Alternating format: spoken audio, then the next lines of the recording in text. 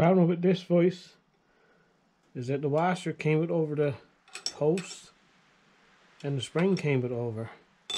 So he's just sliding back and forth. Simple fix. Just pop out this bolt here to take the nut off, unscrewing. Take out that cotter pin there, or push pin, whatever it's called. If you had a split pin in there, rolled pin would work. Right here. I might have to replace that again because he seems a bit loose. But I bought this at a yard sale for five bucks. It's a Recore or Record number 100. Made in England for five bucks.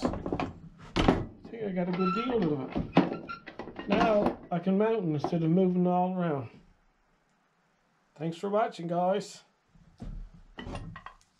It was an easy fix.